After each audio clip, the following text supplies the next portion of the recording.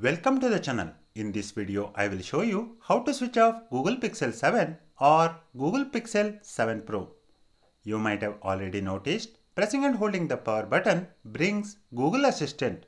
So how to turn it off now? There are couple of ways. Let us explore them one by one. First, let us begin with hardware combination method. To use this method, press the volume up and power buttons together. You get this menu. From here, you can restart or turn off Pixel 7. Another way is by going to quick panel by swiping down twice on the screen. You will see this power icon. Tap on it. You get this power menu to restart or power off. The third method is by remapping the power key to the power menu. To do this, go into settings. Scroll down till the end.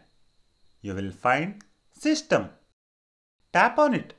Here, go to gestures. It shows all the available gestures on this phone. Navigate till the end. You will get to see this gesture called press and hold the power button. Go inside it.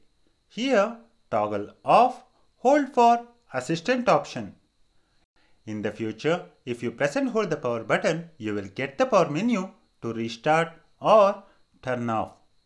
From here, tap on power off to switch off the device.